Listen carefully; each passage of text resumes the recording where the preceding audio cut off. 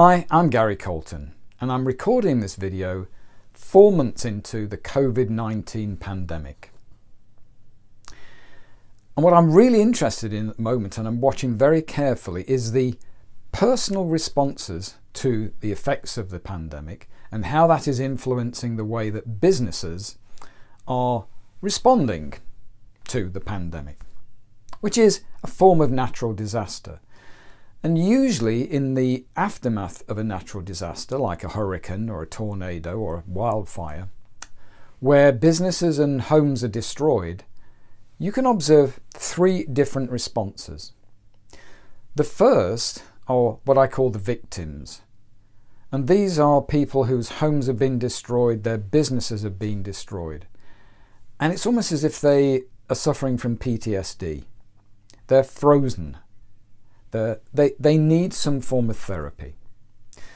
Now, as an executive coach, I, I cannot give these people help. I don't have the skill set, but I do know people who do.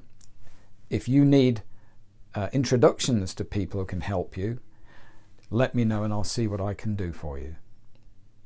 The second group of people, their response to a natural disaster, and you can watch it happening right now, those that hope they can ride it out, they are furloughing staff or, or laying them off. They are cutting costs everywhere across the board. They're not reaching out to their customers and potential customers. They're in some kind of lockdown mentally. It's as if they're like a rabbit caught in the headlights. And my hope goes out to them just as much as it does to the victims. But when you look at the immediate aftermath of a natural disaster, there's about 40% of people that respond very differently. They're the ones that go into the rubble not to pick out pictures of family, although they do that as well. They're the ones that are beginning to get materials to build a shelter. Within a few days, you'll feel, see people um, trying to create new businesses, just selling what they can even for pennies. They're adapting and adapting to the changing new reality, not hoping that they can go immediately back to the old one. And they're not relying on people to get them there. They're about 40%. And I call these the roaring 40%. Now, in business, they tend to be the people who are always looking for the future and how they can adapt into it and they're always asking the question, what if? What if we create something new? Will the market want it? What if we change the way that we manage our teams? What if we change our IT? They're always asking this question, what if? The problem is, why wait until the market tells you it likes it or doesn't? Why not try and build the highest definition business radar you can possibly have? And to do that, to build a radar that can look at the internal in innovation and the internal culture of your business and you, your marketplace and your existing customers. And also those intangibles, those things that you can't actually see yourself and your business can't see. You just, it's hidden. It doesn't exist. What we know is that diverse teams will always outperform one expert or a team made up of very similar people. There's decades of research. And we even know now diverse teams like Formula One racing teams and universities and engineering companies are coming up with novel ways to manufacture ventilators for the sufferers in intensive care units of the COVID 19 infection.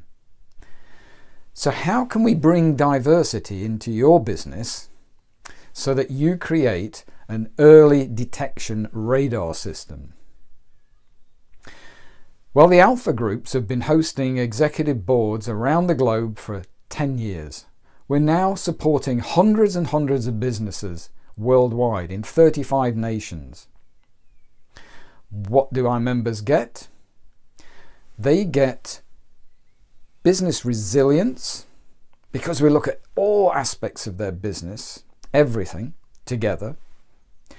And from that, business growth. And they are stronger together than they are separate. Our motto is none of us is smarter than all of us. And what we find, and it never changes, the route to a solution for a member's problem always lies inside the room. So, what I'd like to do is invite you to be curious about what it could be like to gain the benefits of becoming an Alpha Group Executive Board member. And there are two ways, two easy ways you can do that. First, you can look at the link attached to this post, which is to my diary, and we can have a 20 minute curiosity conversation. I don't do selling, I just want to know about you, your business, your aspirations for growth and business resilience. And then, if we can add value, I can tell you a little bit about how we do that.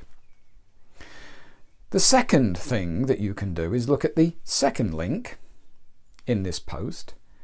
We are holding an open webinar to all kinds of businesses who feel they might benefit by tapping into this none of us is smarter than all of us principle and contemplating becoming an executive board member.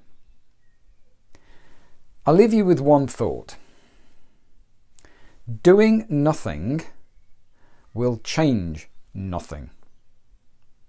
If you're not reaching out to other businesses, if you're not reaching out to potential clients, if you're not adapting the offer that you make, someone else is. Why not you? Thank you very much for your time.